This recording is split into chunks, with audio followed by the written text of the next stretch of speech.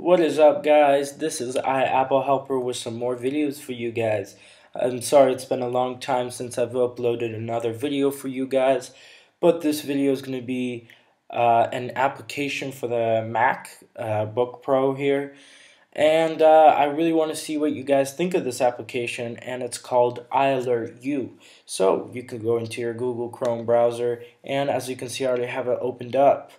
Now what this does is basically if you leave the lid of your computer open but you don't want anybody to go messing around on it without your permission, this is a great application.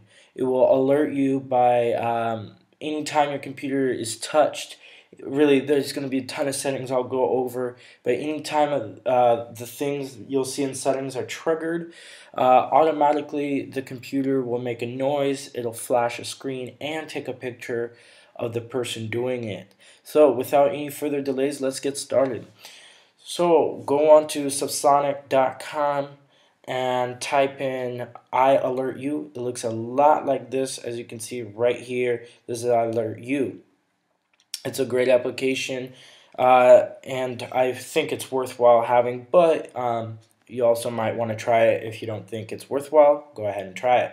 So this is what it looks like. You'll have it downloaded. Go ahead and find it under Finder and Downloads right here, and it'll look a lot like this. Now I already have it downloaded and ready for use, so let's get started on the use part. So you're going to have a little logo. You'll you'll see it pretty much because it'll be one of the new looking things on your status bar. So what you want to do first is go to preferences. Now as you can see right here you got a lot of settings and we're going to start on the alarm section. So one of the things is you want to make sure all of the triggers here are checked and I'll go over it with you. Motion sensor, keyboard, screen close, devices, AC adapter, trackpad, and or mouse. So what this basically means that uh, the motion sensor is basically anybody coming up too close to your computer automatically um, the alarm goes off. I'm actually going to uncheck it because I don't want that. Um, actually, I'll just keep it on. Anyway, so it basically uh, senses any motion near the computer. So as you can see, our next setting here is alarm duration. Now on here, I have it set for 10 seconds, but you can have it for as long as you'd like, but the max is 2 minutes and you probably want this box checked, which is sound alarm until motion stops. Now, of course, the last setting under this alarm section is motion sensitivity. As you can see, mine is pretty high, so that means it will uh, go off anytime there's any motion, really. Um, I suggest you don't put it on the way high, otherwise it's going to just, it, it'll go crazy it'll feel like anything move. so it's not worth having it here. It actually can get pretty sensitive. I have it here, and it's pretty good. Now, as far as for the camera, so one thing is if you want to see the person that tried to mess around with your computer, go ahead and check the box that says use iSight image capture. So that will basically, if you have a camera on your computer, that will be triggered and it will be used for capturing anybody who's trying to mess around with your computer without your permission. Now I also have capture screenshots and what that basically does is, let me show you. So you're going to go here. So as you can see, this is my screen right here. Now it'll capture the entire screen anytime the alarm is triggered. So let's go back into settings and here we are. So you can have this checked or not, your choice. As you can see, I have mine as a photo, not a screenshot, but a photo. Um, as you can see, you I have mine are deleted because, well, I don't want you to see a picture of me right now. Anyway, you can also have a snapshot path. As you can see, my photos go into desktop, and in the desktop, there's a folder called alarm. To do this, all you have to do is press that thing and then this window comes up and you can go create a folder or as you can see up mine's created and you just use that one. Alright, now for some general. Um, now for here you do want to hit enable ARM from, from menu. so which means it's up here. Oops.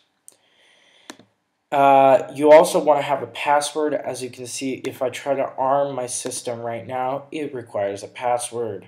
So, um, in addition to this, uh, you don't need to allow dis or dis or sorry arming or disarming with remote, but you do want to hit require password so your little brother doesn't uh, take advantage of you by uh, arming the system and you don't know the password or whatever it is. So um, now under the logo area, as you can see, use logo for lock screen. I definitely have it on because that will be an automatic warning that says iAlertU, which probably means something like a security system. Uh, now, if you want this logo to go away from the lock screen, go ahead and check this and uh, as defaults after 10 seconds. Now I also have flash screen on the alarm. That's just for giggles as well as terrifying the hell out of your enemy or whoever it is. Now as you can see, um, I have a default logo and it's the iAlertU large, but you can do a custom logo if you'd like. Now let's go on to sound. Now this is probably the most important setting because you probably don't want this checked all the, this one because this basically means force maximum alarm volume that would be really really loud and you probably don't need it extremely loud unless if you're in public and you're that concerned mm. but if you're in public you probably wouldn't be bringing your laptop in the first place so you definitely do want to use use arm sound and the disarm sound and these are more or less for giggles um, speak when alarm is sounding. This is also a giggle. Uh, mine says I alert, alert, you're not supposed to be on here without my permission. And just go ahead and make these default, but you can play around with the rest of the sounds. Now, as for startup, as you can see, mine is allow automatic arming, so that means anytime my computer is shut off and it is turned back on. So if it really did get stolen, um, it would be automatically uh, armed. So uh, you you can choose on these settings right here. This is start iAlertU. Sorry, iAlertU at login. I don't want that, but um, you can check it if you want. Uh, check for updates. That's up to your own preference.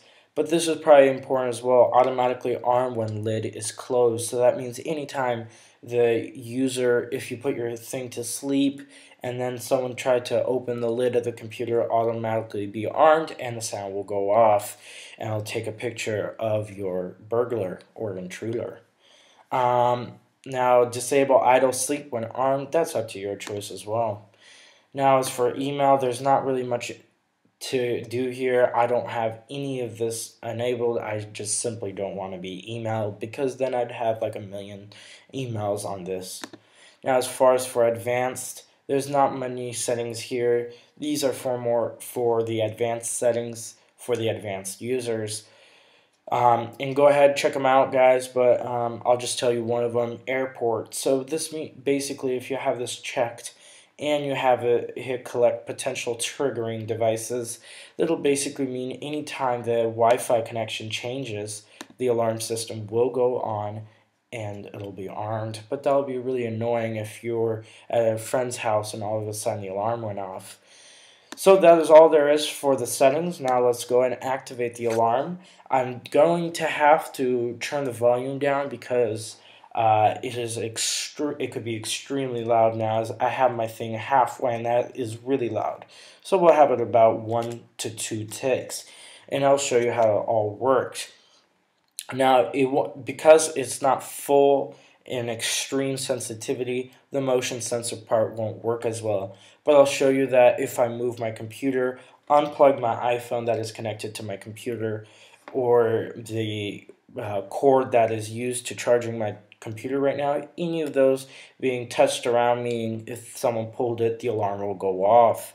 As well as the trackpad, meaning anytime you touch it and try to move the mouse or click on it or click on any of the keyboards, automatically the alarm goes off. Now I'm not going to do it all, but I'll definitely show you. So you go over here and now you'll hit ARM system. Now you put in your password and this is what you'll hear from mine. I'll just put it right here. One, two, three. As you can see guys, it says protected by iAlertU. Now I will show you one of the sounds when it will make it. And I'll uh, turn it off immediately as to not annoy you. So before I start, please lower the volume on your computer if you have me full blasted on or you have it on your uh, telephone and it's really loud. Please turn it down so it's not too loud for you guys. And uh, yeah, here we go. Now this is me touching the keyboard.